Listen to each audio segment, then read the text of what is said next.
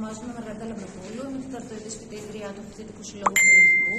Το τμήμα μας από την ε, Παρασκευή τελεί υποκατάληψη και το βασικό μας αίτημα είναι να απομακρυνθεί από το τμήμα ένας κακοποιητής καθηγητής, ο οποίος έχει καταγγελίες για σεξουαλική παρενόχληση και για εργοδοτική αυθαιρεσία. Ε, οι καταγγελίες αυτές ε, τρέχουν τα τελευταία δύο χρόνια. Ο καθηγητής αυτός ε, έχει κρυφθεί όχι αθώος, αλλά ούτε και ένοχος. Είναι ακόμα εδώ στο Πανεπιστήμιο, διδάσκει κανονικά, έχει θέση του, έχει τα εργαστήριά του, παίρνει 200 χιλιάρικα ε, χρηματοδότηση.